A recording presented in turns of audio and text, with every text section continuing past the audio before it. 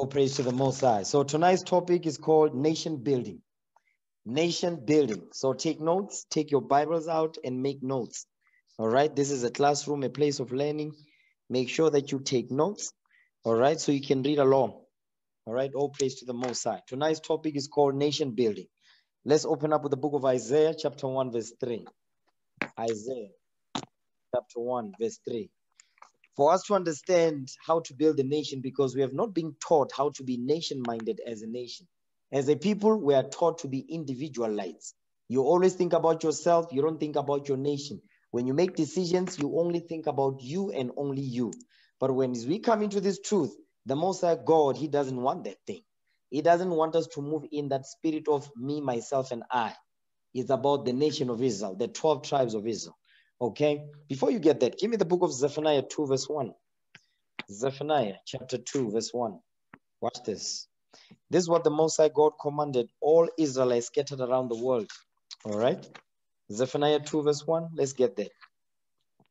Zephaniah chapter 2, verse 1.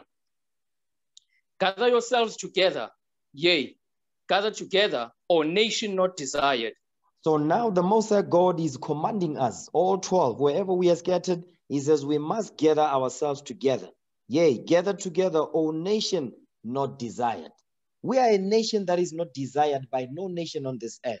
All the nations they hate and they despise the black man, the Latino man, the Native American Indian man. They hate our guts.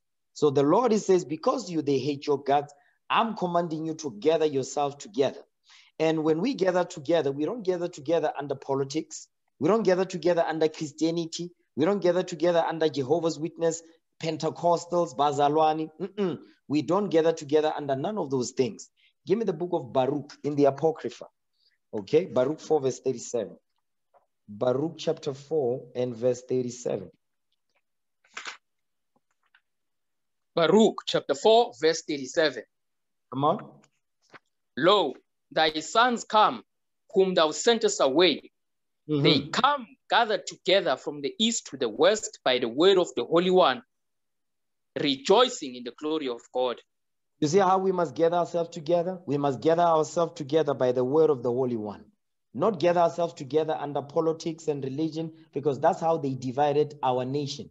That's how they divided us. They divided us into politics they divided. That's why in politics there's so many there's so many arguments. Some say no, me I'm I, I side with Malema, I'm EFF. Another one says I'm ANC. Another one says I'm DA. Whatever, whatever, whatever. That's how they divided us. When you look in, in religion, they divided us the same way. They divided us under ZCC. Uh, they divided us under Roman Catholic Church. You understand? Seven day seven day disadvantage. You understand Jehovah's wickedness. All of that, that's how they divided us as a people. You understand? But that's not what the Lord is commanding us. Read that again. Verse 37. Baruch chapter 4, verse 37. Go ahead. Lo, thy sons come, whom thou sentest away. Mm-hmm. They come gathered together from the east to the west by the word of the Holy One, rejoicing in the glory of God. That's the only way the Most High God wants us to gather ourselves together by the word by his word. That's how we get ourselves together by the commandments of the Most High God.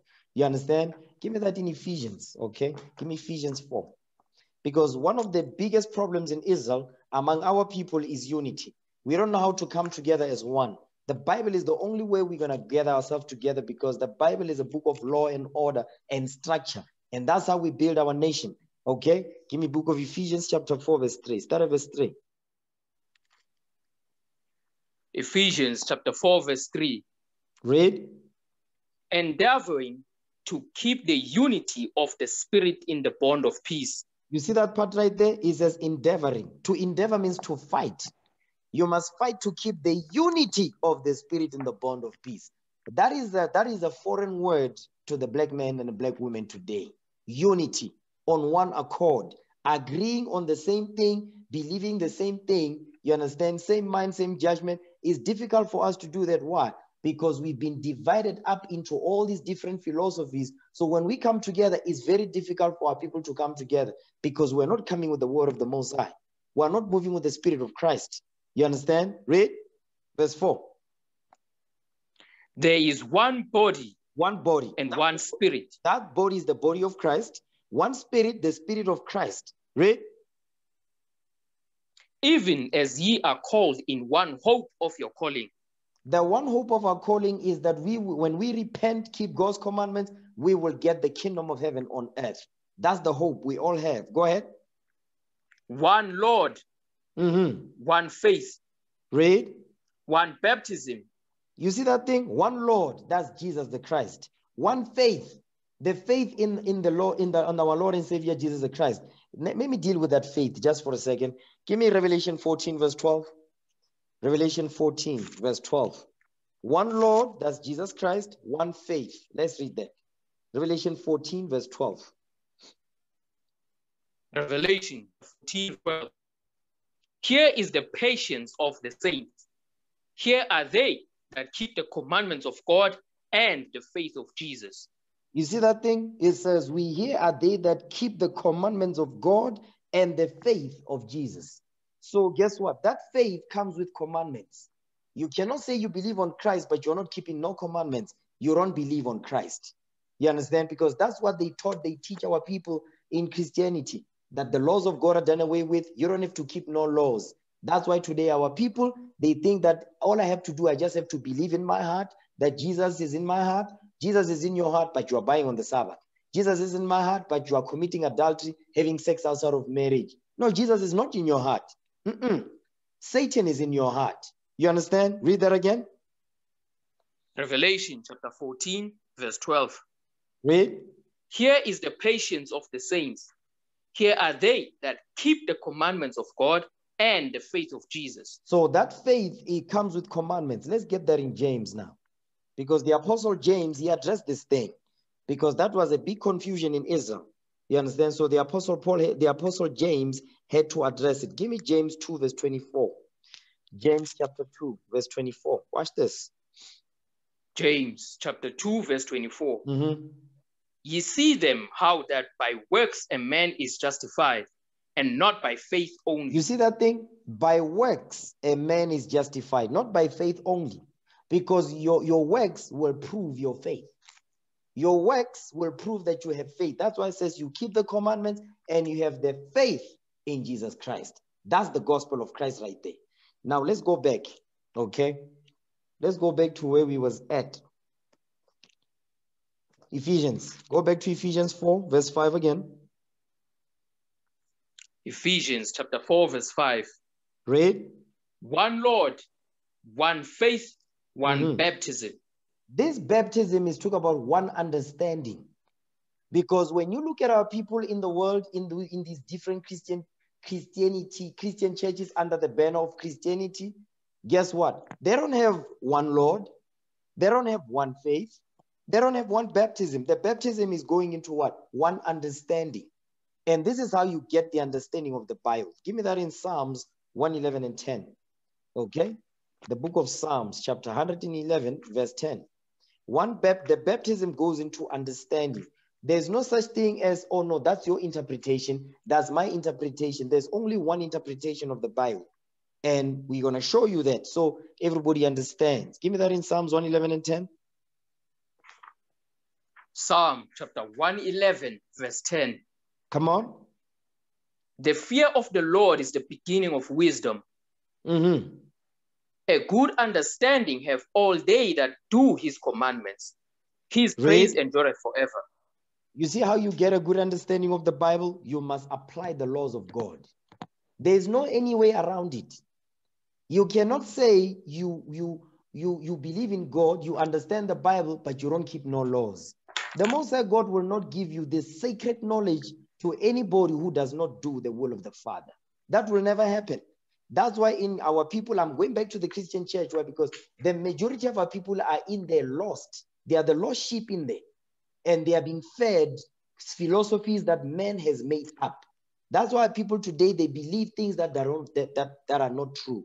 They believe lies. They believe fairy tales. Okay, give me that in Second Thessalonians so I can prove that. Okay, because the Most High God he talked about this thing that because our people they don't want to hear the laws of God, this is what the Lord says He will do to our people. Give me that in Second Thessalonians two. Okay, Second Thessalonians two verse ten. Let's read that. Second Thessalonians chapter 2, verse 10. Go ahead. And with all deceivableness of unrighteousness in them that perish. Stop right there. It says, with all deceivableness of unrighteousness. Deceivableness of unrighteous, deceivableness goes into sin. The deceit. Deceivableness goes into deceit. And with all deceit of unrighteousness. The unrighteousness is sin. Give me that in First John so we can understand what it means, unrighteousness. First John chapter 5, verse 17. First John chapter 5, verse 17. Let's read that. First John chapter 5, verse 17. Come on.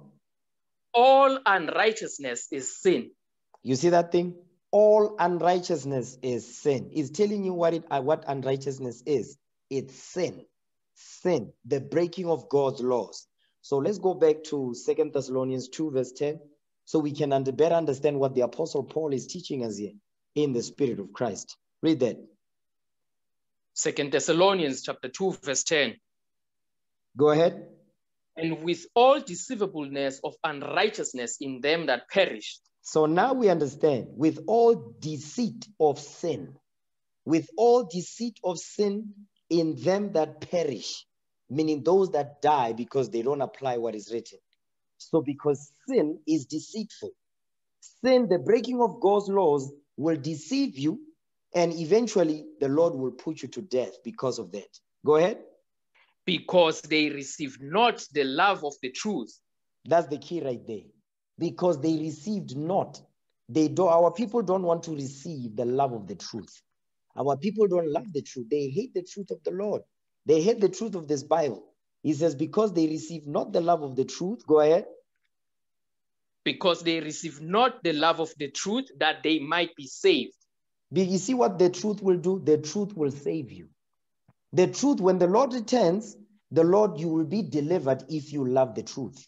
What is the truth? The laws of God. So are, the Lord is teaching us that because our people don't want to receive God's commandments, because our people, the reason why I'm bringing this out is because a lot of the times when we bring the laws, the laws of God out, we teach on the streets and all that, our people say, don't judge me. But our people, they mistake, they, they, they, they confuse correction with judgment. You understand? They confuse, the Lord is the one that is going to destroy you. So when the prophets come to teach you, repent, is to shield you from God's judgment that will come upon you. You understand? Read on. And for this cause, God shall send them strong delusion mm-hmm. that they should believe a lie. That's why our people today, they believe that they are saved, but they are still in slavery. They believe that they are saved, but we're still in poverty. They believe that they are saved, we're living in the ghettos. You understand? They believe that they are saved when the young men are filling up the prisons, when the young girls are committing abortion, heavy sex, teenage pregnancy, but we are saved. No, we are not saved. Read that again. Second Thessalonians chapter 2, verse 11. Go ahead. And for this cause, God shall send them strong delusion that they should believe a lie. Our people believe lies because God has sent our people strong delusion. It's not just any type of delusion, it's a strong delusion, meaning it's so deep, it's so strong that, listen, it's like Christianity is, spirit, is basically spiritual nyaope, is spiritual cocaine. Christianity is the worst drug on the market, and our people they be sniffing it every Sunday when they go to church. Yeah, because we used to be up in there. They just believe things that they are not even written in the Bible. That's a strong delusion. Why? Because we don't want to receive the love of the truth. We hate God's commandments. That's the problem right there. You understand? Read verse 12. Come on. That they all might be damned who believe not that the they, truth. You see that part right there? It says that they all might be damned. Meaning what? They're going to go, they're, go, they're going to be condemned. That they all might be damned who believe not the truth, but had pleasure in unrighteousness. We know what unrighteousness is. Unrighteousness is sin, the breaking of God's laws. Our people have pleasure in sin because sin is pleasurable, but it's only for a moment. Keeping God's commandments will give you the kingdom, which is rulership of nations forever. You can't even compare the two. You understand? Let's go back now. Ephesians 4. Ephesians 4, verse 5. I just wanted to deal with that because the baptism is the understanding. So that why? The Most High God is commanding us. That this is these are requirements for us to build a nation. We must be on one accord. That's one of the main things that black men, black women don't know how to do. The Bible is the only solution. Read that. Ephesians 4, verse 5. Ephesians chapter 4, verse 5. Go ahead. One Lord, one faith, one baptism. One Lord, one faith, one baptism. We must be on one accord. We must believe the same things that there be no divisions among us. You understand? The Bible says, Thou shalt not commit adultery. You must believe the same thing. What does that mean? Don't watch porn. Don't masturbate. Don't have sex outside of marriage. You understand? That's fornication. That's adultery. We believe the same thing. Guess what? We're going to be good. Why? Because we understand what the Bible is saying and we believe what it says, the way it's written. That's what the Most High God is looking for, for us to come together in the spirit of Christ. It's not going to happen. And the Christ we're talking about is the, Christ of the Bible, the black man. You understand? Who died for his people, the 12 tribes of Israel. Now, nation building, we need to understand something because when we build a nation, you first need to understand nationality. You understand? Because you need to understand that what nationality, the nationality you come out of, so that you know who you are, so that you can better understand how to build your nation. You understand that you come out of. Because you don't just go out and go be building China's nation. Because right now we're building the white man's nation in a sense. Well, we, those of our people that don't know, you understand? They are busy trying to keep the, the, the, the, the, the, the machine of Babylon running because they don't know who they are. And that's the most important thing for people to know first and foremost nationality, identity, who they are before they can start building their nation. They must know the nation they come out of. Give me the book of Isaiah, chapter 1, verse 3, because this is what Isaiah prophesied. Okay? Isaiah chapter 1, verse 3. Read that. Isaiah chapter 1, verse 3. Read. The ox knoweth his owner, mm-hmm. and the ass his master's crib. Read. But Israel does not know. Mm. My people does not consider. So now Israel is God's people. The Most High God is speaking through Isaiah saying, the ox knows his owner. The ox is a cow, in inkomo, okay? And the ass is master's crib. That's a donkey. The donkey knows where he comes from.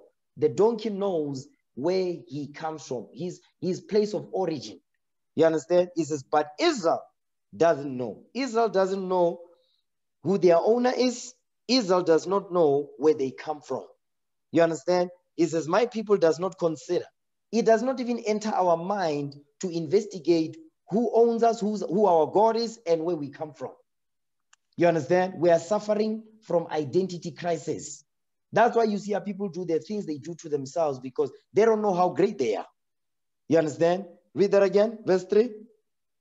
Isaiah chapter 1, verse 3. Come on. The ox knoweth his owner, mm-hmm. and the ass his master's crib. But Israel does not know, my people does not consider. So I want to deal with that because once you know who, who, who owns you, you automatically gonna know where you come from because your owner will give you identity. Once you know your identity, you will know where you come from, your place of origin. Your owner is going to give you your identity, where you who you are and where you come from. That's what an owner does. Is you ever seen you buy you buy you buy a phone, you buy a, I don't know, you buy a fridge. It comes with a manual. You see manufactured. Where was it? You see the name of the brand, Samsung. You see where it comes from. No, it was manufactured in China. Likewise, the Most High God is trying to show us that we don't know the, the fact that we don't know who our God is, our owner, that means we don't know, we, we have no identity. Secondly, we don't know where we come from. And it does not even enter into our minds because in the place of our captivity, we are taught democracy, you are taught you are free. Yet, but when you look at the condition of your people, you see that you are not free. You understand? Watch this. Give me the book of Joel, chapter 2, verse 27. Let's deal with the, the, the, the, the man that owns us. You understand? Our owner. Watch this. Joel 2, verse 27. Let's read that. Joel chapter 2, verse 27. Come on. And ye shall know that I am in the midst of Israel. Mm-hmm. And that I am the Lord your God and none Read. else. You see that thing? Go read that again. Read that again. Joel 2, verse 27 again. Joel chapter 2, verse 27. Read. And ye shall know that I am in the midst of Israel. So now this is God speaking. He says, You shall know that I am in the midst of Israel. Okay? I'm in the midst of Israel. Read on. and that I am the Lord your God and none else. Read. You see what he's telling us? He says, I am the Lord your God and none else. He's not the God of everyone, he's the God of Israel that he is in the midst of. He's telling us, I'm your owner. I own you. You are mine. You are my people and none else. You see that thing? So now that's why, so God is teaching us in Isaiah that we are dumber than an ox and a donkey because he's telling you that the, the, the cow, a dumb animal, knows who owns him. The donkey, that another dumb animal, the donkey knows where he comes from. Because the donkey, you can, you can leave the house, you can leave the yard, the donkey will roam around the bushes and all, the, the donkey will find his way home. You understand? But he says Israel doesn't know. We are lost. We are the lost sheep of the house of Israel. Watch this. Give me the book of Isaiah 63, verse 16. We're still dealing with our owner. Who owns us? Okay. Isaiah 63, verse 16. Read that. Isaiah chapter 63, verse 16. Go ahead. Doubtless thou art our father, though Abraham be ignorant of us, It says, though Abraham be ignorant of us, because we didn't live during the time of Abraham. So that's why it says, though Abraham be ignorant of us. Come on. and Israel acknowledges not. Because we didn't see Israel with our eyes. You understand? That's why it says, and Israel acknowledge us not. Read. Thou, O Lord, art our father, You see that thing? our on. redeemer. Wait, wait, wait. Thou, O Lord, the God of Israel and none else. He says, Thou, O Lord, this is Isaiah speaking. But thou, meaning you, O Lord, you are our father. You are our owner. You own us. Go ahead. We are your children. Go ahead. our redeemer. Mhm. Thy name is from everlasting. So the Most High God is our Father and He is our Redeemer. He will deliver us from the hands of our enemies that are holding us prisoners here in South Africa, in China, in America, in Europe. You understand? In Russia, wherever people in India, wherever in Saudi Arabia, wherever, wherever our people are scattered, we are prisoners in those in those lands. We are prisoners here. You understand? So the Lord is the one that is going to deliver us from the hands of our enemies. He's going to redeem us. Go ahead. Verse 17. Read. O Lord, why hast thou made us to err from thy ways Mhm. and hardened our heart from thy fear? Come on. Return for thy servant's sake the tribes of thine inheritance. You see what he's saying? He says, Return for thy servant's sake. We are the servants of the Lord, the tribes of thine inheritance. Which, when he says tribes, he talk about the 12 tribes of Israel. So Isaiah is pleading with the Lord. He says, Why hast thou, why hast thou made us to err from thy way and harden our hearts from thy fear? Because if you look at our people today, our people, they have no fear of the Lord. They do whatever they want. Why? Because they don't know who they are and the things they do to themselves. If they knew who they are, they would never do the things they do to themselves and the things they do to their own brothers and sisters. So that's what we are bringing now. Our people to know who they are so that they know how to treat themselves correctly, like, like royalty. You understand? Because we are royalty. We are the apple of God's eye. Read. The people of thy holiness have possessed it but a little while. Mhm. Our adversaries have trodden down thy sanctuary. Because the kingdom, Jerusalem was destroyed by the white men in 70 AD, the Romans. But we possessed the kingdom only for a little while, for 80 years, during the time of King David and during the time of King Solomon. You understand? Come on, verse 19. We are thine. We are what? We are thine. You see, Isaiah is repeating verse 16 again. We are thine. We belong to the Father. The Most High God is our owner. You understand? He is our owner. Read. Thou never bearest rule over them. So Isaiah is saying the Lord never ruled over these nations. That's the same thing that Joel said, that I am in the midst of Israel and none else. He says, Thou never bearest rule over them. The Most High God has never been the God of these other nations. You understand? Read. They were not called by thy name. With the, the nations were never called by the name of the Lord. They were never called by God's name. Give me that in Second Chronicles chapter 6, verse 6. The other nations were never called by God's name. You understand? Read that. Second Chronicles chapter 6, verse 6. Watch this. Second Chronicles chapter 6, verse 6. Read. But I have chosen Jerusalem that Mhm. my name might be there. You see that thing? He says, I have chosen Jerusalem. We are Jerusalem. Jerusalem is a people before it's a place. He says, I have chosen Jerusalem, which is us, the black man, the black woman, Latino man, and Native American Indian man. Go ahead. and have chosen David to be over my people Israel. You see, the Most High God, He only gave His name to us. He never gave His name to other nations. You understand? So that's what Isaiah is trying to show us. Give me that in First Chronicles 16, verse 36. First Chronicles chapter 16, verse 36. We're still dealing with our, who owns us because your owner will give you your identity. Once you know you have your identity, your identity will also reveal your place of origin. Okay? Read that. First Chronicles 16, verse 36. Let's read that. First Chronicles chapter 16, verse 36. Mhm. Blessed be the Lord God of Israel forever and ever. Mm. And all the people said, Amen, and praised Amen. the Lord. You better Praise. praise the Lord for that thing. Okay? You better praise the Most High God for that. Because today we are afraid to praise the Lord. We are afraid to say God only love us. Don't be ashamed of that. You must be proud of that thing. You understand? That's why King David says, You better praise the Lord. You better praise the Lord that the Most High God is, is, the, is the God of Israel and nobody else is God. And he put his name on us. Read that again, verse 36. Come on, First Chronicles chapter 16, verse 36. go ahead. Blessed be the Lord God of Israel forever and ever. Mm. And all the people said, Amen, and praised the Lord. all the people said amen meaning we agree with this thing you better you better agree and praise the lord that he's the god of israel forever and ever. You understand? That's not going to change. Go back to isaiah now chapter 1 verse 3 again. Isaiah chapter 1 verse 3 now we dealt with our identity you understand? Because our owner will your owner will give you your, your identity. You understand? Read that. Isaiah chapter 1 verse 3 again.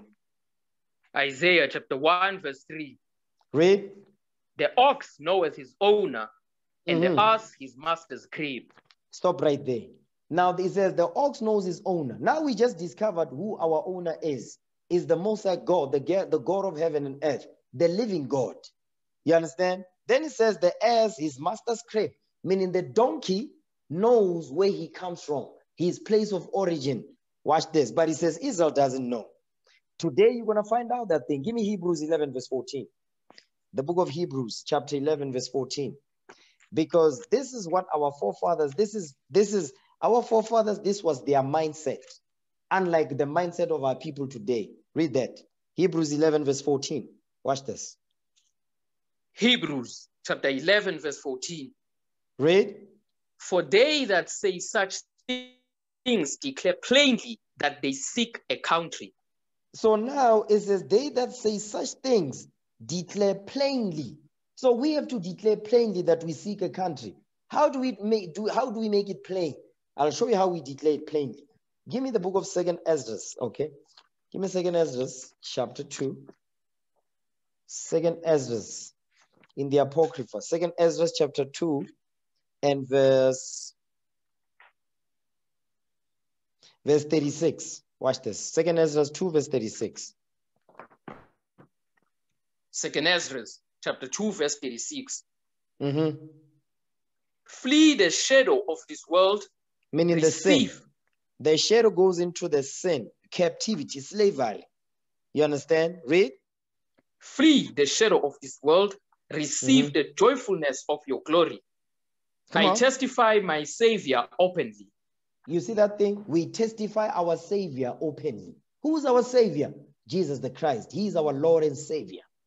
So we testify Him openly because we declare plainly that we seek a country, that this is not our homeland, that we are not Africans or South Africans, we're not Gentiles, we are the children of Israel. We are the Jews the Bible speaks of. We declare that plainly that we seek our country. We want to go back home, Jerusalem. You understand? Go back to where he was at now? Hebrews 11, verse 14. Hebrews chapter 11, verse 14. Read. For they that say such things declare plainly that they seek a country. Come on. And truly, if they had been mindful of that country from whence they came out, they might Come have on. had opportunity to have returned. You see what the Apostle Paul is saying? It says, and truly, if they had been mindful of that country, because right now our people they think no, South Africa is their homeland. No, this is our country. You see these xenophobias, xenophobia be going on because the so-called South Africans they think this is their country. No, no, this is not your homeland, you so-called South African. The people we who did we find here when we arrived? We found the Khoisans. The Khoi Khoi, this is their country. We found them here. That's why if you look at your money, your 10 rand, your 20 bucks, your 50 rand, you see Khoisans on the money. They are the owners of this land on this side. This is not our land. But you see, we don't read. You look at them, you you be buying morojo ko strategi every day, but you don't look at the money that you are holding. You understand? You see Khoisans on the money. We found them here. They are the true owners of the land. We are foreigners here. Understand that. Read verse 13 so we can prove what I'm saying. Read verse 13 because this is what our forefathers were saying wherever they were scattered, wherever they were slaves. This is the this is what's their mindset. Unlike the Negro today, okay, the darky today. Read that, verse 13. Hebrews chapter 11, verse 13.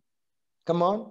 These all died in faith, mm-hmm. not having received the promises, but having seen them afar off and were That's persuaded of them. That our forefathers and foremothers, they did not receive the promises, meaning the kingdom yet, but have seen them afar off because it's generations, thousands of years later, we still don't have the kingdom yet. We are going to get it when the Lord returns. Go ahead. And embrace them and confessed that they were strangers and pilgrims on the earth. You see that thing? Our forefathers, they confessed that they were strangers and pilgrims on the earth, foreigners. So today, our people, are, they have lost themselves. They don't know who they are, so much so that they think this is their country. No, no, it's not. We came here running, you understand, because our temple was destroyed in 70 AD by the Romans, and then we fled down here and uh, during the Bantu migration. You understand? That's why we ended up here. Some of us, we ended up in the Congo. Some of us, we ended up in Gabon. Some of us, we ended up in Rwanda. You understand? In Guinea, especially the majority of the Bantu migration migrated from the Gulf of Guinea down here. You understand? Because we were running from Jerusalem and we started to go deeper into the continent of Africa. We started to change our names to hide ourselves. You understand? To take on the cultures of the people that we found in those lands. You understand? Now, read verse 15 now again. Hebrews chapter 11, verse 15. And truly, if they had been mindful of that country from whence they came out, they mm. might have had opportunity to have returned. That's why now we have not returned to our homeland yet. Why? Because we are not mindful of where we come from. I mean, Master KG even released a song called Jerusalem. Our people just be dancing to the song, but they don't understand that's a spiritual song right there. Because it says Jerusalem, But it doesn't even enter into the mind of the black man that actually that song is telling you that you are not eh, you are not home. You are far from home. That song, that song of Master KG is telling you that you are not home, black man. But are people they just be they just be bumping their heads, you know, they are nodding, they are dancing, but they don't even listen to what the song is saying. When you read the book of Psalms, David keeps talking about that. You understand? So today, now we're waking up to that thing. Understand that. Read on. But now they desire a better country that is now, in heaven. na- hold on. Now it says, but now they desire a better country. Now that we know who we are now, we are the Israelites the Bible speaks of. Now we desire a better country because we have remembered who we are. Now we know that we are the children of Israel. Now we want to go home. You understand? Read. Wherefore, God is not ashamed to be called their God. Could you read that verse again? Read verse 16 again. Hebrews chapter 11, verse 16. Read. But now they desire a better country Mhm. that is in heavenly. We desire a better country that is in heavenly, meaning what? The kingdom of heaven on earth. That's the country now we desire now. You understand? Come on. Wherefore, God is not ashamed to be called their God, Read. for he hath prepared for them a city. So now, because of, as a nation, we are not declaring that we are strangers and pilgrims here. We think this is our country. We think this we are home. The God is um, the Most High God says, "I'm ashamed of you. I'm ashamed of you, you Israelites, because you are not declaring that you seek a better country. You be fighting for South Africa as if this is your homeland. No, it's not your homeland. So because our people don't want to actually renounce the fact that they are South Africans, because remember, if imagine you say you are a South African, let's just think about that word, right? South. South is a direction, first and foremost. Africa is a name of a white man named Leo Scipio Africanus. So is that in an, is that your identity? Direction and the name of a white man. That makes sense? That doesn't make any sense. But we are proudly calling ourselves South Africans. That's why God says, I'm ashamed to be called your God now. Because you're not calling yourself Israelites, the names I gave you. You calling yourself by the name of your slave masters, looking foolish out here. You understand? Read it again, verse 16. Hebrews chapter 11, verse 16. Go ahead. But now they desire a better country Mhm. that is in heavenly. Read. Wherefore, God is not ashamed to be called their God, for he hath prepared for them a city. So God has prepared to us a city. What city? New Jerusalem that's coming. Where New Jerusalem is being built right now. Understand that. Watch this. Give me Micah 2, verse 10. Okay, Micah. Micah chapter 2, verse 10. Micah chapter 2, verse 10. Read. Arise ye and depart, Mhm. for this is not your That's rest. the what the Lord is telling us now. He says, Wake up, arise ye and depart. Meaning, wake up from your sleep, you Israelites. Give me Isaiah 52, verse 1. He says, Arise ye and depart. Isaiah. Okay. Isaiah chapter 52, verse 1. Awake, awake, put on thy strength, O Zion, Mhm. put on thy beautiful garments, O Jerusalem, the holy city. You see what the Lord is commanding us? He says, Wake up, awake, awake, you Israelites. Put on thy strength, O Zion. Put on thy beautiful garments, O Jerusalem. What is our strength? The Bible is our strength. You understand? The laws of God, that's our power right there that we have with the Most High. So the Lord, if somebody says awake, that means you are sleeping. That's why God is saying, Awake, wake up, you Israelites. That's what the Lord is commanding us because we're sleeping out here.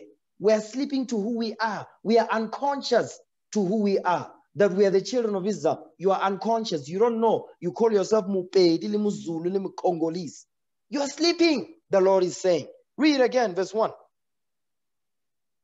Isaiah chapter 52, verse 1. Come on. Awake, awake, put on thy strength, O Zion, Mhm. put on thy beautiful garments, O Jerusalem, the So holy now- city. The Lord is commanding us to wake up. You understand? The Lord is commanding us to wake up. That's why in Micah it says, Arise ye and depart, meaning wake up. You understand? Wake up to who you are and take all of this Bible and apply it and wake up your nation so we can go home. That's what the Lord is commanding us. You understand? But our people, they are still enjoying the pleasures of sin. So they don't want to let go of their pleasures of sin. You understand? Give me that in Proverbs 21, verse 16. Read that. Proverbs Yes. 21, verse 16. Read. The man that wandereth out of the way of understanding shall remain in the congregation of the dead. Right now, our people, because they are still unconscious to who they are, meaning what? They are sleepwalking. You are sleepwalking. Every day you wake up, you go to work, broad daylight, but you are, the Lord is saying, you are sleepwalking because you are sleeping to who you truly are. You don't know who you are. You understand? So he says, because we are wandering out of the way of understanding, we are no longer keeping God's commandments, his laws. He says, we are in the congregation of the dead. Christianity, congregation of the dead. Politics, congregation of the dead. Democracy, congregation of the dead. All these pagan customs, congregation of the dead. The only time when the Lord says you are alive is when you keep his commandments. Then you wake up to who you are. That's why it says, awake. This is not your rest. Okay? Go back to Micah 2, verse 10 again. Micah chapter 2, verse 10. Arise Wait. ye and depart. Mm-hmm. Wake up. He says, arise, meaning wake up, awake, you Israelites, okay, and depart. Why is he saying depart? Watch this. We coming back here. Give me the book of Revelation 18. Give me Revelation 18 and verse 4. He says, Arise ye and depart. This is how you, de- this is what he's saying right here. Read that. Revelation chapter 18, verse 4. Read. And I heard another voice from heaven saying, Come out of her, my people, mm. that ye be not partakers of her sins, and that ye receive not of her plagues. You see what God is saying? It says, it says what? Come out of her, my people. Who is God's people? The Israelites. It says, come out of her. Who's the her? America. You understand? Come out of America because America has powerful influence over all nations on earth. They push homosexuality. They push 50-50. They push uh, children can have sex at a young age. They push that children can change their sex, meaning a child, a, a child can say, no, I don't want to be a woman anymore. I want to be a boy. They go and do surgery. You understand? That's what America is pushing. They are pushing democracy. They are pushing you live a life without no consequence. You understand? That's why you see LGBTs all over. You, you, you see that thing? But no, that's how I feel. That's why the Lord is saying, Come out of her, my people, and be not partakers of her sins. Don't partake in the sins of America, and that ye receive not of her plagues, because America is going to be wiped out from the face of the earth when the Lord returns. So the Lord is saying, Come out of her. Stop celebrating Christmas, New Year, Mother's Day, Father's Day, Valentine's Day. You understand? Easter. That's not what the Lord commanded us. The Lord didn't give us none of that stuff. So the Lord is saying, Come out of, come out of here, my people. Go back to Micah now. Micah 2, verse 10, once again. That's how we depart, like we read in Revelation 18, verse 4. Read that again. Micah 2, verse 10. Micah chapter 2, verse 10. Read. Arise ye and depart, for this is not your rest. Mm-hmm. Because it is polluted, it shall destroy you, mm. even with a sore destruction. You see what God is saying? He says, This place is going to destroy you. Their philosophies, their customs, their religious system, their political system, their economic system to destroy the black man and the black family. The Lord is saying, This place is polluted, is going to destroy you with a sore destruction. He says, Come out of it. Why? Because you must be mindful of where you come from. This is not your rest. God didn't bring us here for us to rest. He brought us here to repent of our sins. You understand? We were here to serve our prison sentence. While we're serving our prison sentence, we are acknowledging the offenses that we committed against the Lord our God. So we can what? Be released out of prison and go home. Now, give me that in Galatians 4, verse 26. This is the place that we must be mindful of that the Apostle Paul was, is, was explaining. Galatians 4, verse 26. Let's read that. Galatians chapter 4, verse 26. Read. But Jerusalem, which is above, is free, mm-hmm. which is the mother of us all. You see that thing? Jerusalem is the top government on earth. When the Lord returns, is going to be the top government on earth. So it says, but Jerusalem, which is above, is above everybody. We are above everybody. which is the mother of us all. Who's the us? The children of Israel. That's where we come from. That's what the Apostle Paul, that's what Isaiah was teaching us that we don't know where we come from. And because you don't know who your owner is, who your owner is supposed to give you identity and is supposed to give you your place of origin. And that's what the Lord does. He gives us our identity. He gave us our identity and our place of origin, Jerusalem. You understand? Watch this. Now go back to Isaiah chapter 1, verse 3. Before you can begin to build your nation, you must understand first which nation you come out of. So now that you know which nation you come out of, that you come out of the nation of Israel, now you begin to understand. Now, okay, now that I understand, what must I do now to build my nation? Now that you know who you are, where you come from. Okay, Isaiah 1 and 3. Read that. Isaiah chapter 1, verse 3. Come on. The ox knoweth his owner, and the mm -hmm. ass his master's crib. Read. But Israel does not know, my people does not consider. Now we know, and now we consider where we come from, who we are. We know that we are the children of Israel. We broke the laws of God. We forgot our nationality and our identity and where we come from. But watch the, what the Lord said he will do. Give me that in Baruch 3, verse 8. Okay. Give me Baruch 3, verse 8. Because of our sins, this is what would happen to us in the last days. Okay. Baruch chapter 3 in the Apocrypha. Baruch chapter 3, verse, verse 8. Read that. Baruch chapter 3, verse 8. Mm-hmm. Behold, we are yet this day in our captivity. In our what? In our captivity. We are yet this day, 2021, we are still in slavery. That's what Baruch is saying.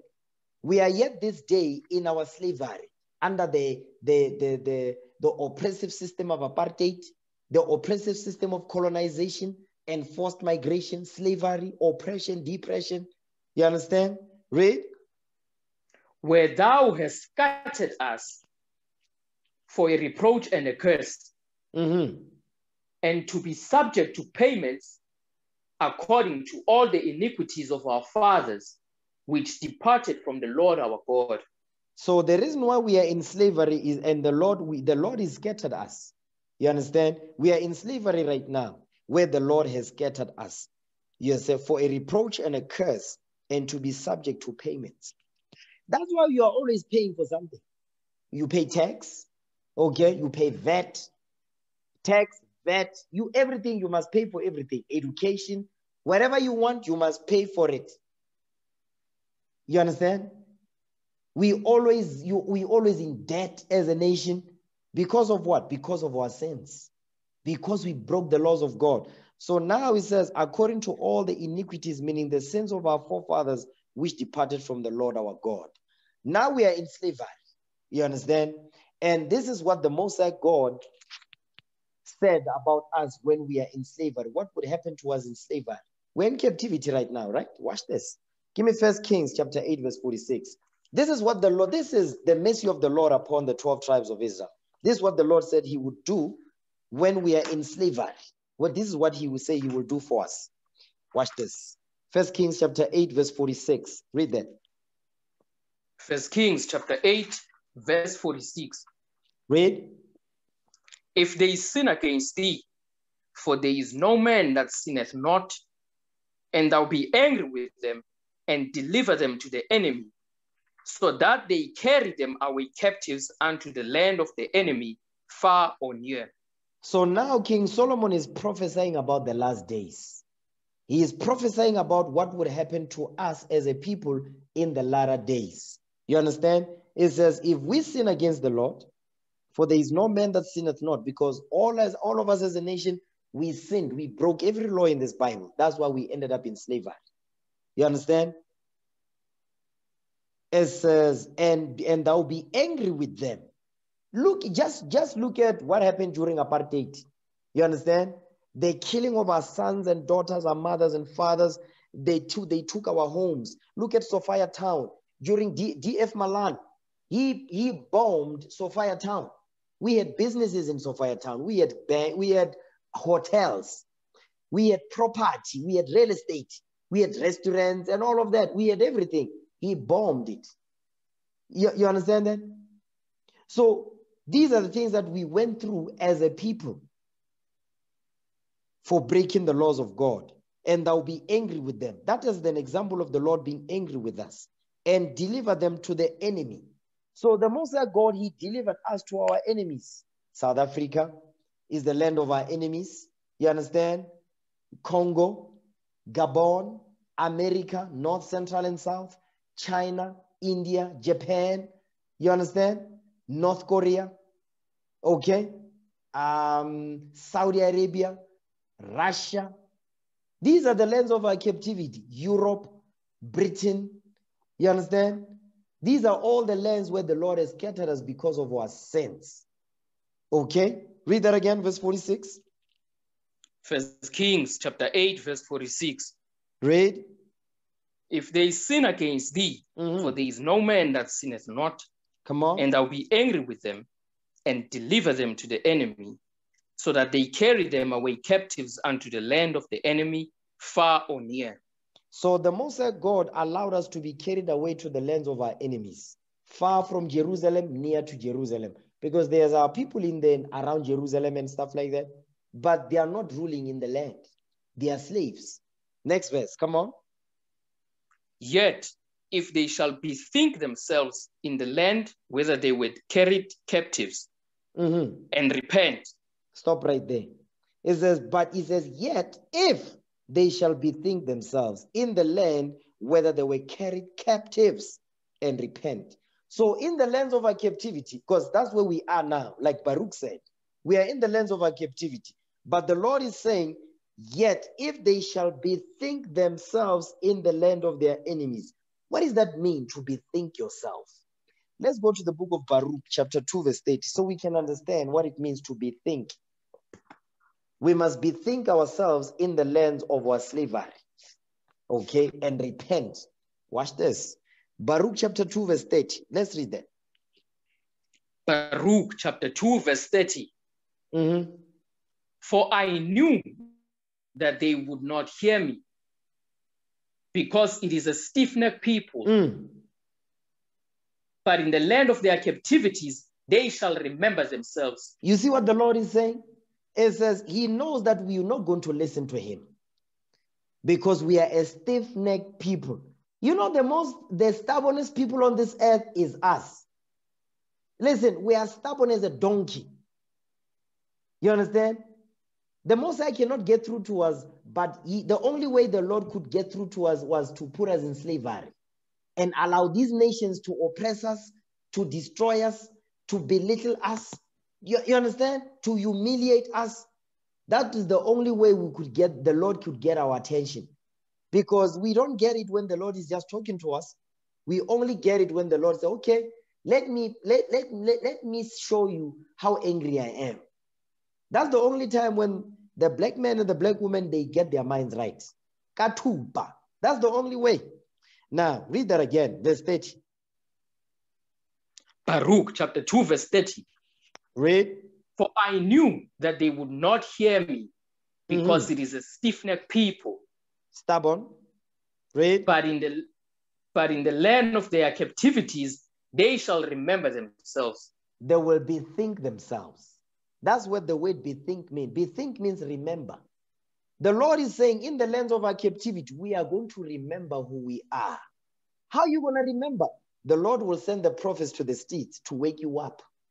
So you can remember that, listen, you are not Mtsonga, you are a Jew. As an example, the prophets will go to the streets to wake the people up so the people can remember, wait a minute, what? I'm an Israelite? Yes, that's say the Lord. That's what's going on right now. Go back to First Kings now, chapter 8, verse 47. First Kings chapter 8, verse 47. Read. Yet if they shall bethink themselves in the land whither they were carried captives, and Mhm. repent, And what? and repent, So now the Lord is saying we will remember who we are in the land where we were carried captives. How were we carried captives into these lands?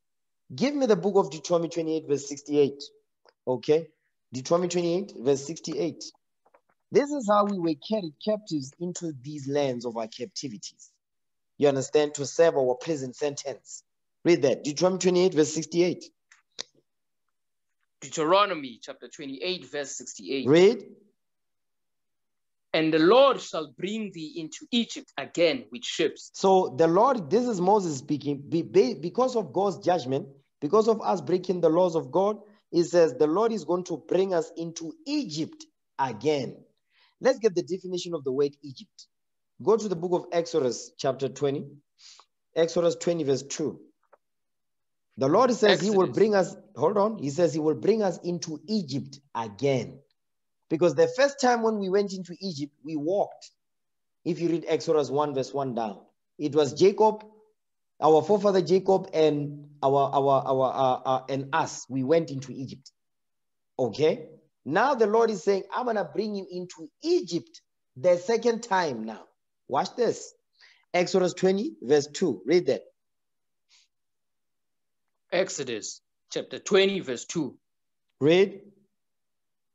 I am the Lord thy God, which have brought thee out of the land of Egypt, out of the house of bondage. You see what Egypt Egypt means the house of bondage. Egypt means the house of slavery. So go back to Deuteronomy 28 now. Verse 68 again. Deuteronomy chapter 28, verse 68. Mm-hmm. And the Lord shall bring thee into Egypt again with ships so now the Moses is prophesying. He says, listen, you're gonna go into slavery the second time again. But this time you're gonna go on slave ships, cargo slave ships, where the nations are gonna pack you, the white men, the Chinese men, the Arab men, the Hamites, the ancient Egyptians, they are going to pack you on the slave ships. You are going to be scattered all over the world. You are going to be sold when you get there. Keep going. Read by the way whereof I spake unto thee, mm-hmm. thou shalt see it no more again. Read. And there ye shall be sold unto your enemies for bondmen and bondwomen, and no man shall buy you. You see what Moses is saying? He says, once we get off the slave ships, it says, and there ye shall be sold. You will be packed on slave ships, you will be transported to an, another location, a new country where you've never been. And when you get there, when you get off the slave ships, your enemies are going to sell you. You are going to be sold for slave men, meaning slave women. I mean, slave men and slave women, bondmen and bond women. Our mothers and fathers, our children would be sold on the slave auction blocks. Cape Town, it happened. There was a huge slave trade happening in Cape Town of our people. You understand? There's the west coast of Africa, the Gulf of Guinea. There was a lot of slave trade going on there to sell our people to North Central and South America in China and India. Okay? And that's what Moses prophesied, and that's exactly what happened to us. That's how we were scattered. Not all of us were on slave ships. Watch this. Give me the book of Luke 21, verse 20. Luke 21. I'm dealing with that because the Lord is saying, King Solomon is prophesying, said, we will be carried where we were carried away captives. How? On slave ships, that's one. Another way we are going to be carried away captives, this is how. Luke 20, Luke 21, verse 20. Luke chapter 21, verse 20. Come on. And when ye shall see Jerusalem compassed with armies, then know that the desolation thereof is nigh. So Christ is prophesying, say, listen, when you see Jerusalem surrounded with the Roman armies, you must know that the destruction of Jerusalem is nigh. So now Christ is going to teach us what we must do when that thing happens. Go ahead. Then let them which are in Judea flee to the mountains. He says, those that are in Judea, those that are in Judea, meaning which is what? Southern, southern Israel, those that are in Judea, it says, flee to the mountains. What is the mountain making reference to? Give me the book of Matthew, chapter 2. Those that are in Judea, those that are in Israel, what must you do? It says, flee, meaning run. Meaning run, meaning you are going to be forced to leave your country. You are going to be forced to leave your homeland. That's what Christ is teaching us. Okay? Give me Matthew 2, verse 13. Matthew chapter 2, verse 13. Read. And when they were departed, behold, the angel of the Lord appeared to Joseph in a dream, saying, Mhm. Arise and take the young child and his mother and flee into Egypt, And do what? and flee into Egypt. And run. Run into Egypt. That's the mountains we're reading about in Luke 21. Go ahead. And be thou there until I bring thee word. Read. For Herod will seek the young child to destroy him. So now, this is during the time of Joseph and Mary. The angel visited Joseph, said, Listen, Herod will want to kill the baby Christ. So take your wife and your son and go and hide in Egypt. Because Egypt was black people was there. It wasn't our people, but they were black. They look like us in terms of their, their skin tone. He says, Go and hide among other black people so that the white man does not come and kill the baby. So the same thing that was told to Joseph and Mary is the same thing that Christ is teaching us that we must do. When you see Jerusalem, Roman armies wanting to de- in to destroy you, run into Africa. That's how we ended up deeper into the continent of Africa. Ghana, you understand, Congo, the Gulf of Guinea, Gabon, you understand, Mozambique. That's how we ended up South Africa, Zambia, Namibia. We ended up here because of that. We were running. Forced migration, that's what it's called. Okay? Luke 21, verse 21 again. Luke chapter 21, verse 21. Come on. Then let them which are in Judea flee to the mountains, Read. and let them which are in the midst of it depart out, Mhm. And let not them that are in the countries enter thereinto. So Christ is commanding us, uh, listen, those that are in the midst thereof depart. Don't remain in Jerusalem because it's going to be destroyed. You understand? That's what he's saying right here. Go ahead, verse 22. For these be the days of vengeance. Judgment. That- These be the days of judgment because Christ is telling us that the curses that are written in Deuteronomy 28, they are going to be fulfilled. You're going to go on slave, you're going to go into slavery. You are going to experience colonization and forced migration. You are going to be kicked out of your homeland and your temple is going to be burned down. By who? The white man. Go ahead. that all things which are written may be fulfilled. Because the things that were written is talk about the judgments in Deuteronomy 28. You understand? Watch this. Give me the book of Zephaniah, chapter 3, verse 10. Because when we ran deeper into the continent of Africa, we started to scatter around. You understand? Zephaniah chapter 3, verse 10. Watch this. Zephaniah chapter 3, verse 10. Read. From beyond the rivers of Ethiopia, my suppliants, My suppliant. even my suppliants, Mhm. even the daughter of my dispersed, shall bring mine offering. So now this is Zephaniah is prophesying about because remember Christ's command is he said we are going to what we must flee into in, into the mountains meaning run deeper into the continent of Africa. You understand? So Zephaniah is command is prophesying that once we after the, the prophecy that Christ said it was going to happen to us, guess what? We will be beyond the rivers of Ethiopia. Meaning what? We will be on the central in Central Africa, in the west coast. We'll be scattered around those areas beyond the rivers of Ethiopia. You understand? Central Africa, west coast of Africa. You understand? Um, the south, the uh, southeast, Mozambique, and so forth, Monomotapa, and those places. We would be scattered over there. That's what Zephaniah is saying right here. Read that again, verse 10. Zephaniah chapter 3, verse 10. Mhm. From beyond the rivers of Ethiopia, my suppliants, even the daughter of my dispersed, shall bring mine offering. You see what he's saying? Even the daughters of my the daughter of my dispersed. Who's the dispersed? Give me, give me the book of James, chapter 1, verse 1. James 1. Even the daughter of my dispersed. Okay? James 1 and 1. Let's see who are the dispersed. Okay, read that. James chapter 1, verse 1. Read. James, a servant of God and of the Lord Jesus Christ, to the 12 tribes which are scattered abroad, greeting. So now we are on this side of the earth, we are called the diaspora because we were scattered all over the continent of Africa on this side. You understand? Not all Israel was going to go on slave ships, but we were going to experience forced migration and colonization. And that's what we experience on this side of the earth. That's why it says, even the daughter of my dispersed, meaning the 12 tribes of Israel scattered on this side beyond the rivers of Ethiopia. You understand? So when we scattered over there in, in the on the continent, we were scattered all Nigeria, Niger, Chad, you understand? Uh, Mauritania. We we went to St. Thomas, you understand? Gulf of Guinea, all those all those places. You understand? Cape Verde Islands. So we ended up migrating down. Now I'm going to show you something. Okay.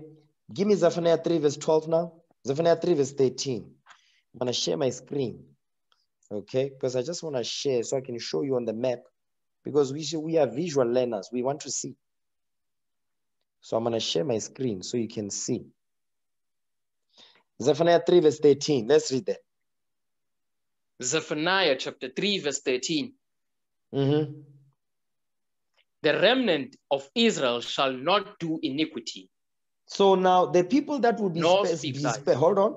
The people that will be scattered beyond the rivers of Ethiopia is what? The remnant of Israel. That's us right now. You understand? Now, let me share my screen. Okay. Let me share my screen real quick. So I just want to show you on the map. Um, I want to show you on the map. So what you're looking at here is you see when we when when when we scattered all over you see that that that blue line right there? That blue circle on the map that's the gulf of guinea right there. So when you look at all these um these these areas here liberia cote d'ivoire ghana togo benin nigeria cameroon gabon congo drc angola these are the people these are the places that we scattered to you understand and when you see here, you see right there, right there, when we were coming from Jerusalem, we ended up here. You see the you see the red arrow, that's the transatlantic slave trade. When our some of our mothers and fathers and sons they were taken to North and Central and South America. The rest of us, we started to migrate down, the Bantu expansion. We started to migrate because we were the same people, because we were running from Jerusalem. So we ended up here. We started to move down to the towards the south. You understand? But this is the areas that we were we were we, we primarily occupied. I'm not saying Mali, Senegal, you understand, we was not there. No, Sierra Leone, no, we was there, of course.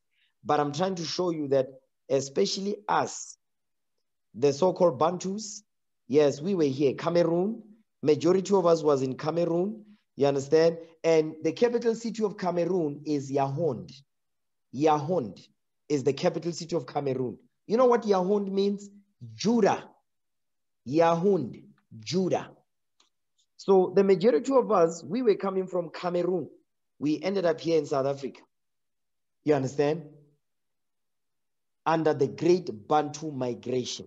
So I just wanted to show you that so you can see, you understand, um, how, how we, we traveled and so forth.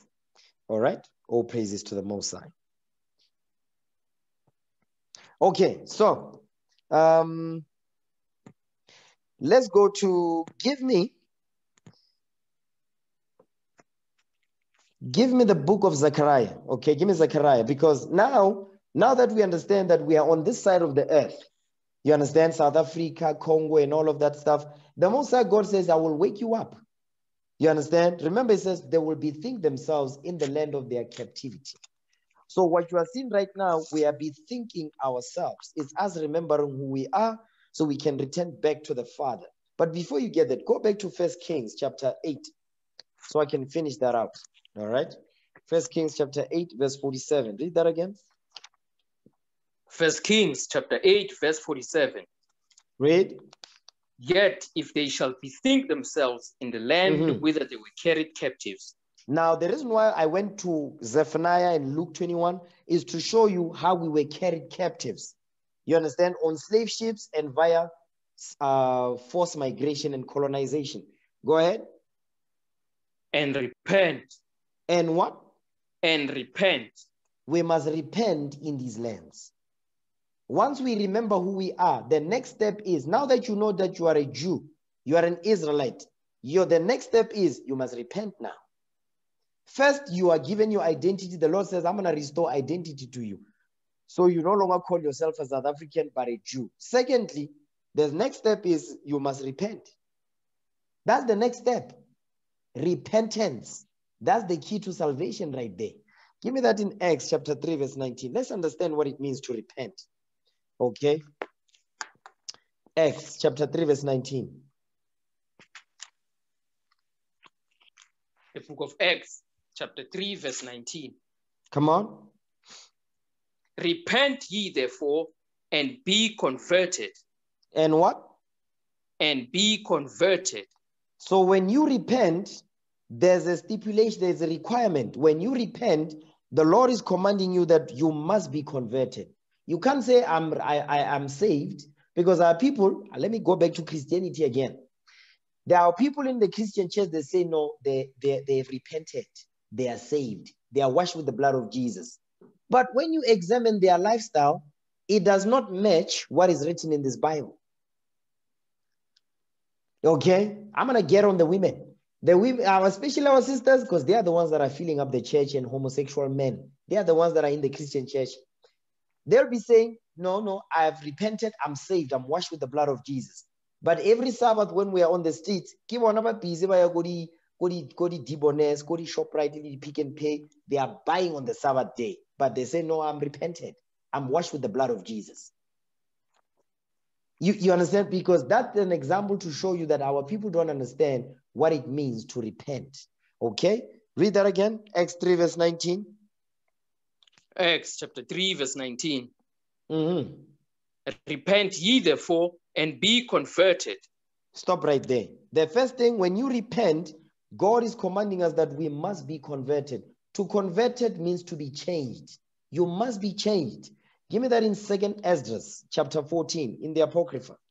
Second Esdras chapter 14, verse 34.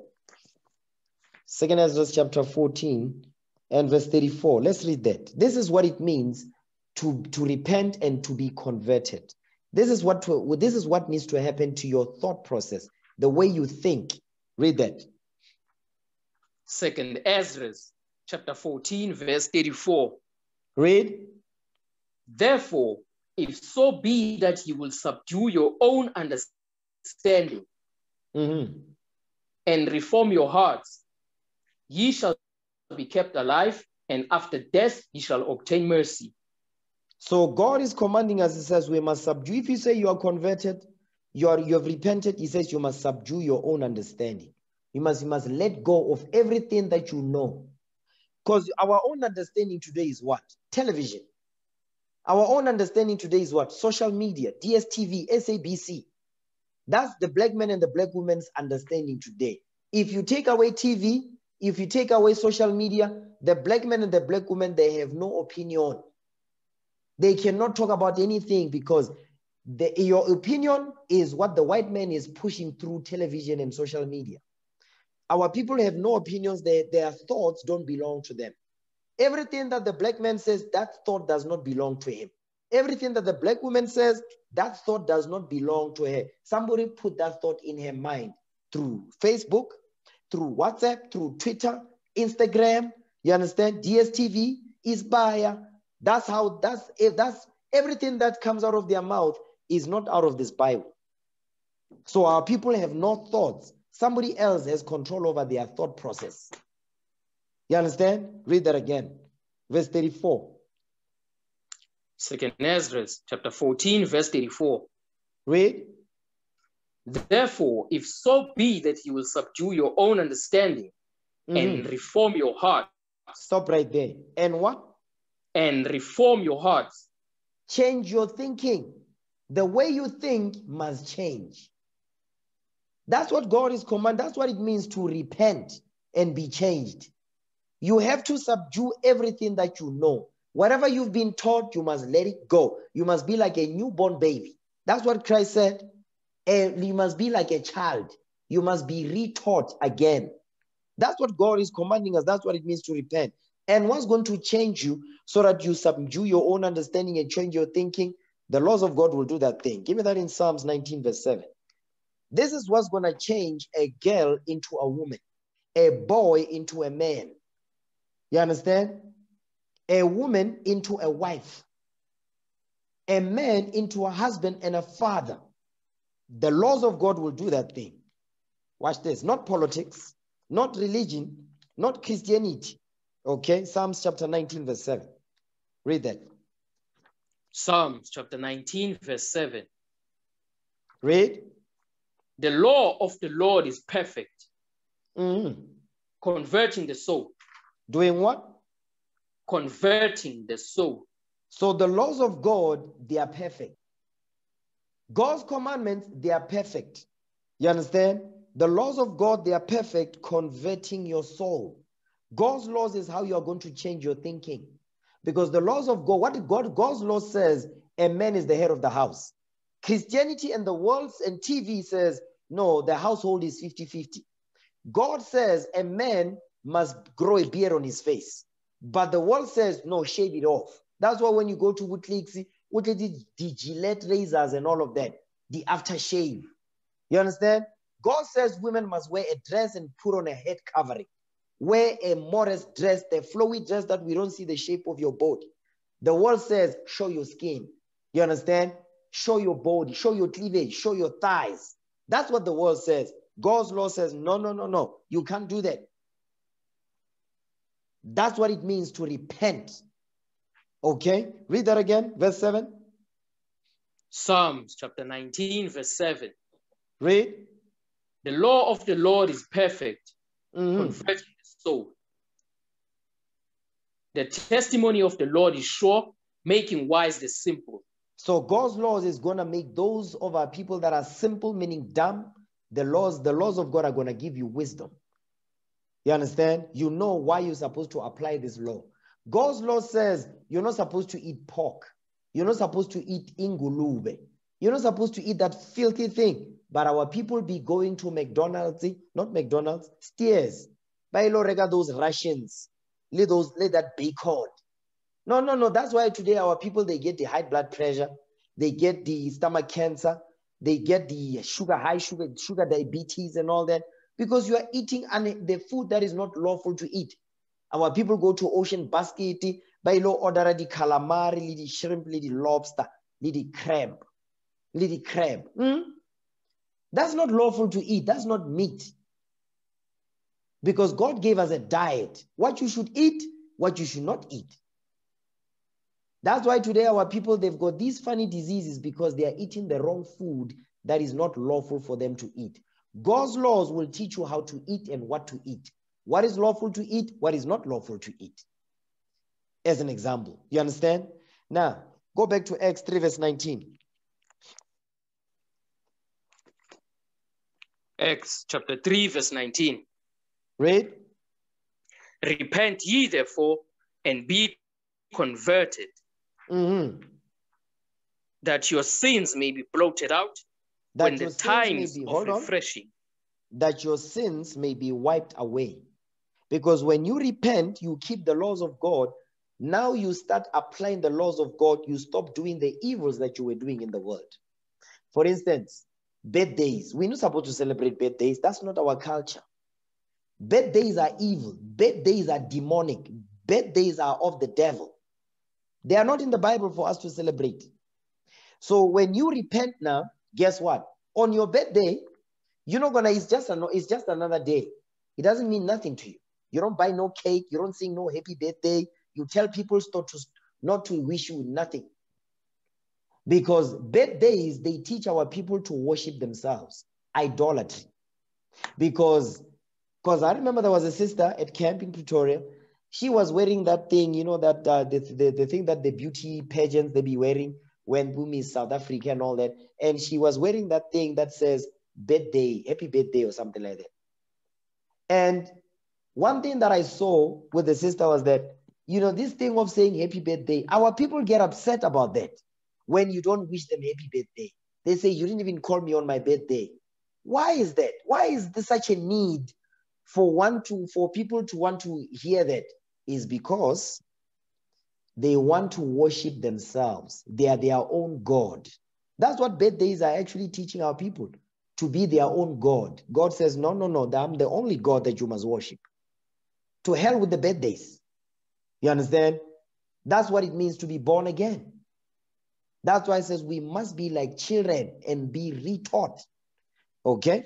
Now go back to First Kings, chapter 8, verse 47 again.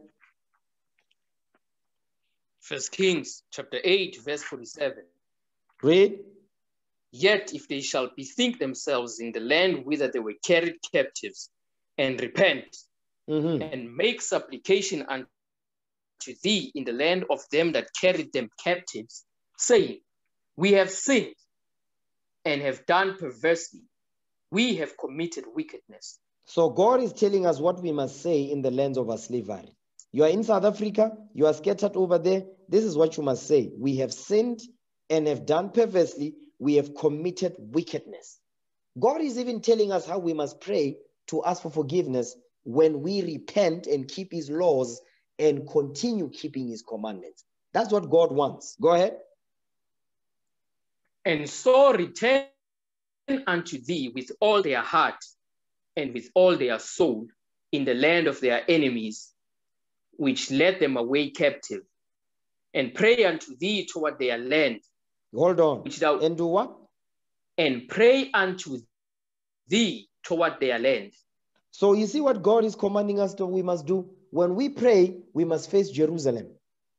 It says, and pray, and pray unto thee toward their land. Because we will be in the lands of our slavery, right? So God is saying, when you are in slavery, captivity, when you pray to me, you must face towards Jerusalem. Because that's the land where you come from. You don't just wake up and just be facing anywhere you want. No, no. Because today, our people, Lenalidi smartphone. On that smartphone, you can, unale compass. The smartphone, they- come with a compass. You must open the compass and, and we born or like, where is northeast? And then the compass will, will point northeast to you. You say, okay, that's northeast right there. That's Jerusalem. When you pray, that's where you face northeast, your homeland. That's what the Lord is commanding us here. And pray unto thee toward their land. Read on. Which thou gavest unto their fathers, the city which thou hast chosen, and the house which I have built for thy name. Come on.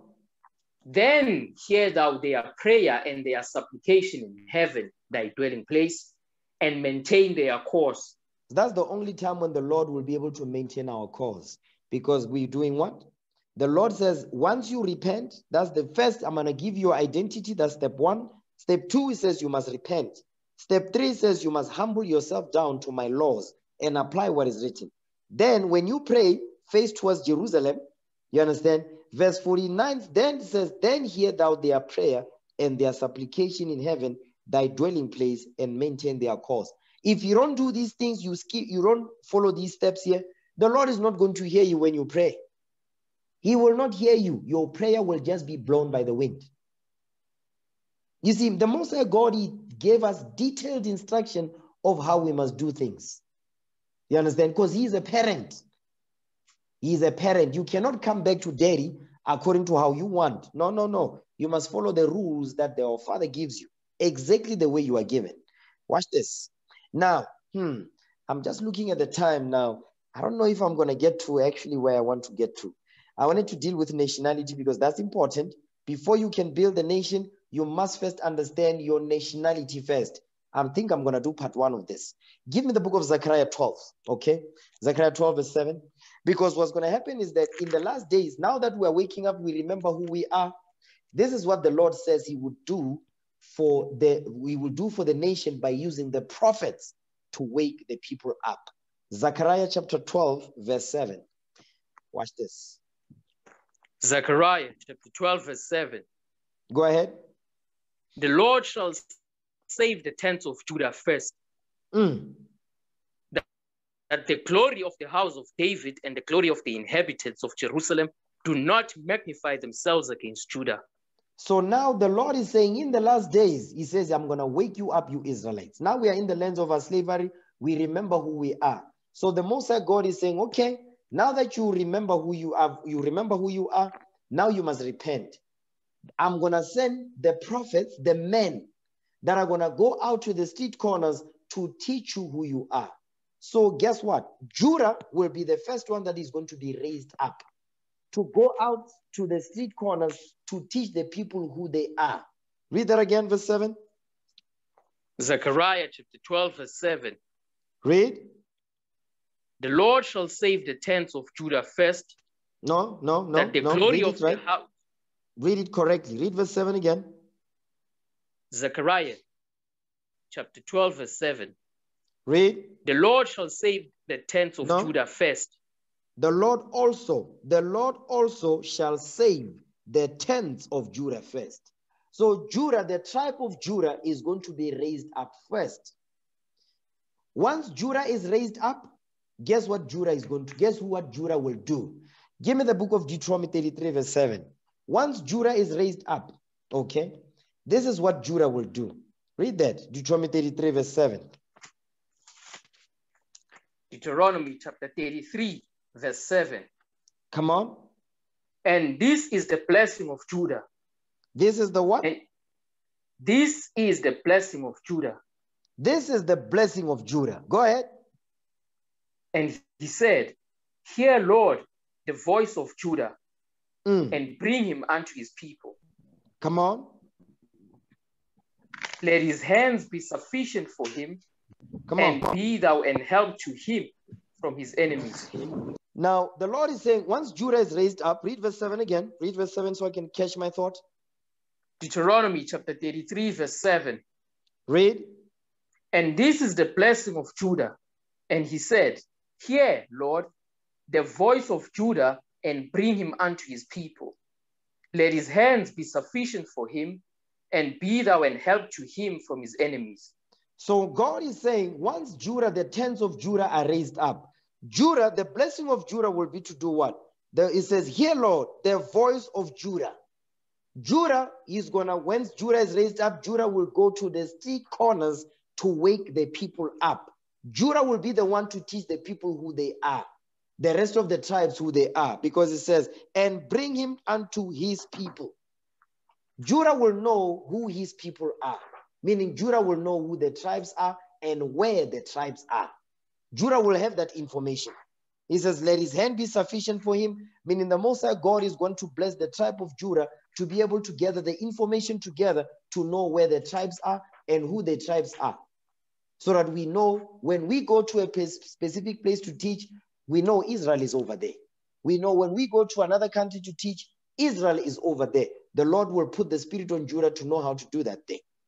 You understand? That's why now, when you go to the street corners, then primarily the people you see teaching on the streets is the so-called black man. That's Judah. That's. That's this is Bible prophecy right here. You understand? So watch this. Now, give me the book. Give me the book of Genesis, chapter 10, because what we just went over is not milk, it's meat. So when our people see us out there when we teach, we know which tribe we come from. It's primarily Judah and Benjamin and Levi. Judah and the, the two companions, Benjamin and Levi. Watch this. Give me the book of Genesis, chapter 10. Okay. Genesis 10. Because who is Judah today? Who is Judah? You know who Judah is today because you see the black man on the street corners waking the people up. That's Judah. You understand? Watch this. But let's just drive the point home. Genesis 10, verse 1. Let's read that. Genesis chapter 10, verse 1. Go ahead. Now these are the generations of the sons of Noah, Shem, Ham, and Japheth. And unto them were sons born after the flood. So these are the sons of Noah, Shem, Ham, and Japheth. Okay. So now, because our people in the Christian church, they are taught that they are the Gentiles. No, you are not Gentiles. You are the children of Israel. So now, the sons of Noah, Shem, Ham, and Japheth, we need to know which son we come out of. You understand? Watch this. Now, I'm going to show you what the scholars know. Okay, this is what the scholars know about us. Let me share my screen. Okay, let me share my screen real quick so we can see. Let me just share my screen. Okay, so now, hmm, let's see.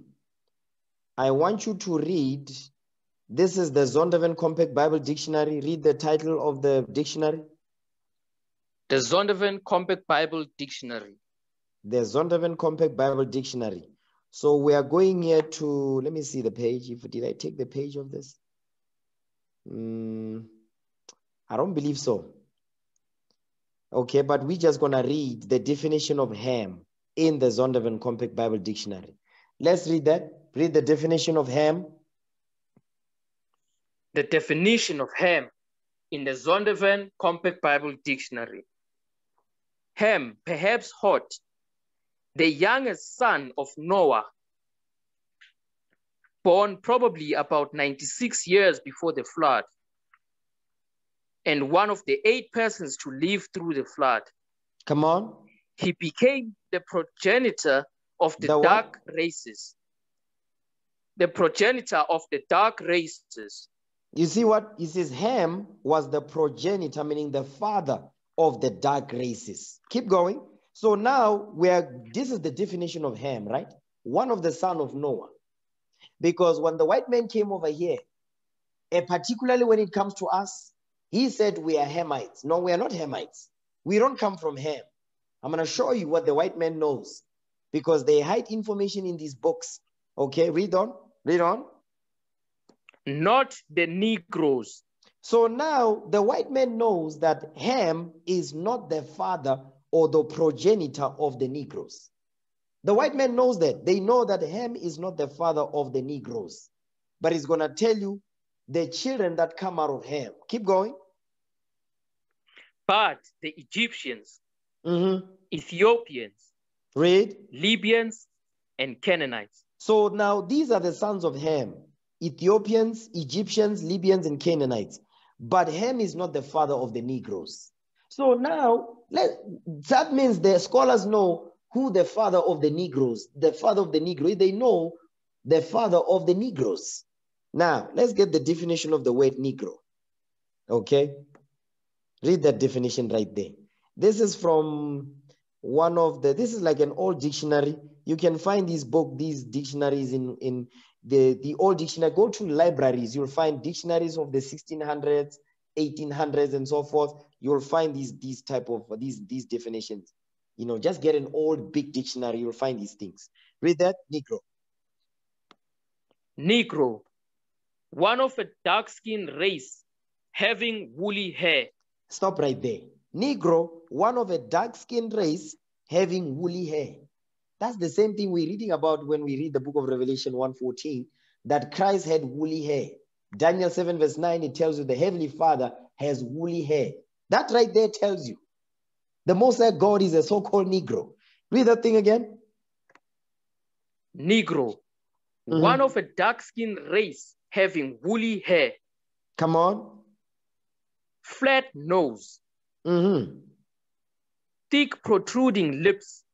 Thick protruding lips, meaning and, we've got big lips, big lips, flat nose, big lips. Go ahead. And a prognathous form of skull. Read. Native to Africa. So the Negro is native to Africa. Okay, keep going. Watch this. Where the term Negro applies most specifically to the Bantu stock of the South. Uh-huh. And the people of the central and west areas near the Gulf of Guinea. That's what I was showing you on the maps. You understand? So the Negro, he comes, he, he, he the, the word Negro applies most specifically to the Bantu stock. Who the Bantus? Hmm. You might be asking, let's read the definition of Bantu right there. Bantu, a family of Negroid peoples mm-hmm. who, who occupy equatorial and southern Africa. Equatorial, equatorial, and southern Africa. That's what we read in Zephaniah 3. It says, Beyond the rivers of Ethiopia, my suppliants, the daughter of my dispersed. So the word Negro, Negroes and Bantus are the same people.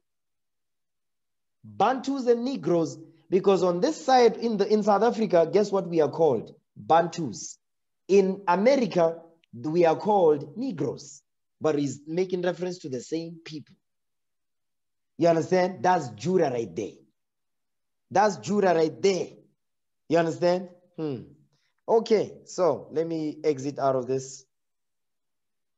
Read Deuteronomy 33. Deuteronomy 33, verse 7. Deuteronomy chapter 33, verse 7. Go ahead. And this is the blessing of Judah. And he said, Hear, Lord, the voice of Judah and bring him unto his people. Mm-hmm. Let his hands be sufficient for him, and be thou an help to him from his enemies. So now the Lord is saying, listen, the, the, the blessing of Judah will be what? To go out to the street corners to wake up the people. Judah is the one that is going to go out and know who his people are and where his people are. That's heavy because the Lord is saying in Isaiah, it says, we don't know who our owner is, we don't know where we come from. When Judah comes, Judah, the Lord will put the spirit on Judah to restore identity back to the rest of the tribe by giving them who they are when they come from. That's some heavy stuff right there. Give me that in Genesis 49, okay? Genesis chapter 49. I'm almost done. Genesis chapter 49 and verse 8. Genesis chapter 49, verse 8. Read. Judah, thou art he whom thy brethren shall praise. Come on. Thy hand shall be in the neck of thine enemies. Thy father's children shall bow down before thee. So it says, Judah, it says, Thou art he whom thy brethren shall praise. How is that? who's Judah's brethren? The rest of the tribes. Benjamin, Levi, Ephraim, Manasseh, Gad, Zebulon, Naphtali.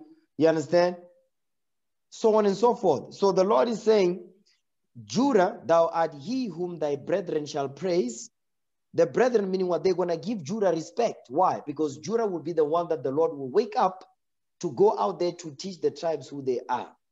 You understand? It says, Thy hand shall be in the neck of thine enemies. When you examine during the 60s, right? The 60s and the 50s, the 1900s, Judah, I'm just talking about on this side of the earth. For instance, in South Africa, you had Enoch Mgijima in the 1900s that was teaching our people who they are, that they are the children of Israel. You understand? Then you had during the, the Black Consciousness movements, the Sharpeville, the Sharpeville, the Soweto uprising, Sharpeville, and so forth. When our people were fighting for equal rights, they say no, they, they, they're looking for rights and all that. Who was primarily fighting the Boers? The black man. So that's why he says, Thy hand shall be in the neck of thine enemies. Thy father's children shall bow down before thee. So Judah will be the one that will be going out there fighting toe to toe with the white man. You still see it today. It's still going on till today. That's the spirit of Judah right there. That was Judah. That's the spirit of Judah right there. You understand? Who's Steve Biko? Judah. Okay? Chris Hani, Judah. Those are the people that were fighting, you understand? And when you examine, when you look at uh, in the US, you had Malcolm X, you have got, you had uh, Martin Luther and so forth. You understand? Harriet, Harriet Tubman. You had those, those, you had um, Stokely Carmichael. There's a lot of them in the US because that's where the truth started, but it spread throughout the earth. But on this side of the earth, also, the Lord was waking up our people in the 1900s already. You understand? Enoch Mgijima. That's the Judite. You understand? So what I'm showing you is this is Bible prophecy regarding that. I'm just dealing with Judah for now. You understand? So Judah will wake up the people. Go ahead, verse 9. Come on. Judah is a lion's whelp. Mm-hmm. The lion From of Judah. Prey. Judah is a, hold on, Judah is a lion's whelp. Judah. That's our symbol right there. Judah. Go ahead. From the prey, my son, thou art gone up. You see that thing? From the he prey, my down. son. Hold on. The, from the pray, my son, thou art gone up. The pray is the Bible. We left the Bible because it says he stooped down. Because during the 60s, during the 50s, when our people were fighting with the white men for, you know, they say they were rising up to overthrow the government and all of that, the apartheid regime and so forth, it seemed like this thing was going to work. It seemed like the black consciousness movement was going to work. It seemed like when the when Albert Luthuli and them they started the ANC, it seemed like it was gonna work. When Enoch Mgijima also he started, it seemed that he was going to succeed. That's why it says he stooped down. You know, when a lion stooped down, ready to prance, to catch the prey, that's how it looked like. You understand? Read.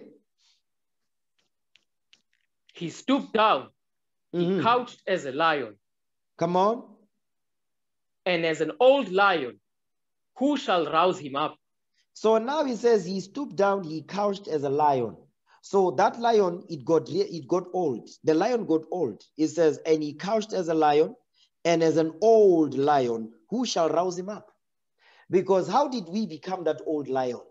I'm gonna show you how we got we became that old lion. Give me the book of Colossians 2. This is how we became that old lion. You understand? He says, as an old lion, who shall rouse him up? How did Judah become that old lion? Watch this. Colossians 2, verse 8. Read that. Colossians chapter 2, verse 8. Come on.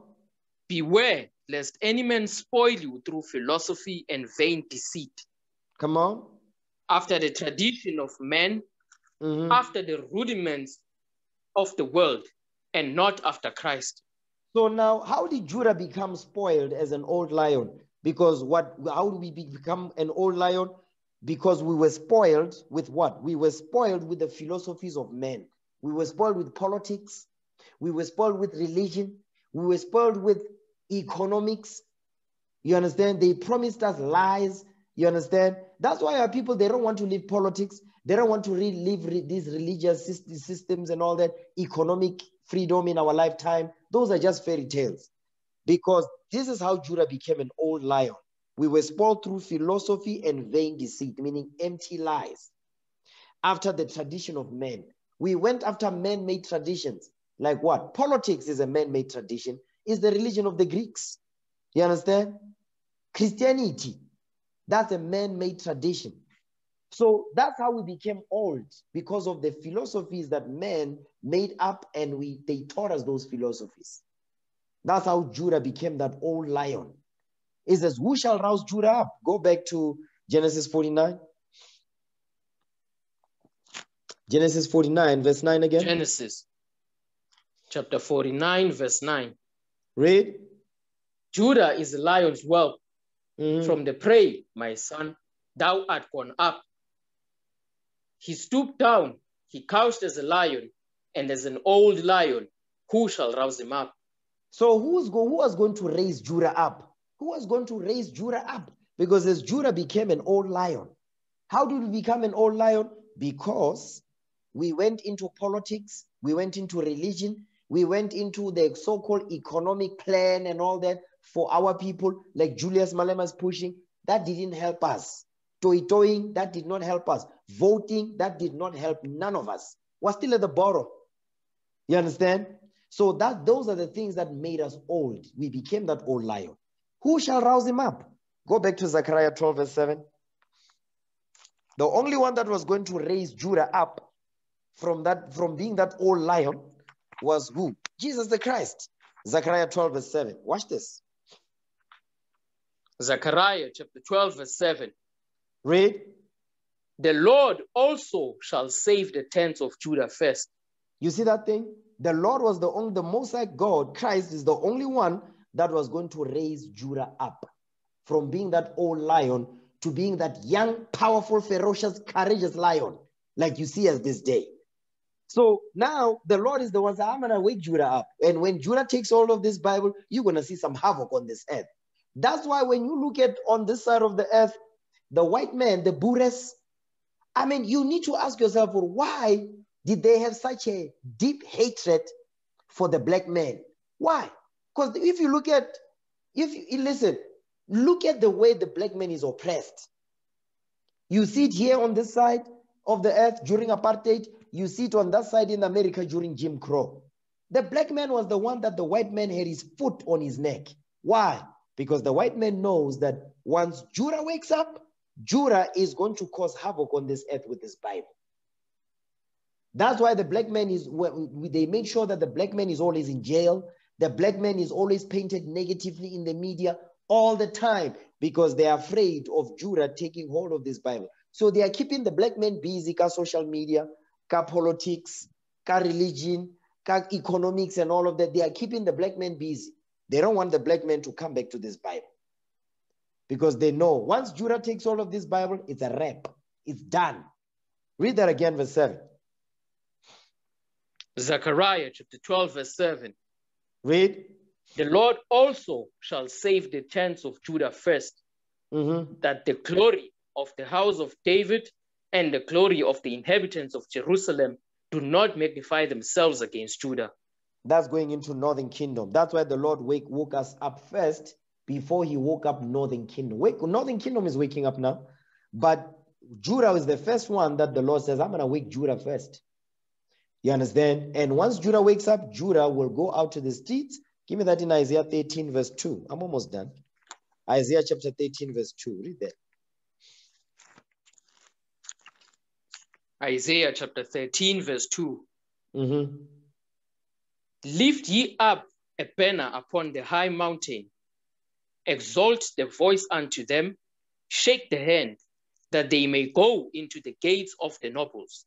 So now this is God commanding us. It says, Lift ye up a banner upon the high mountain. What is the banner? The banner is the Bible. Judah is going to lift up the banner.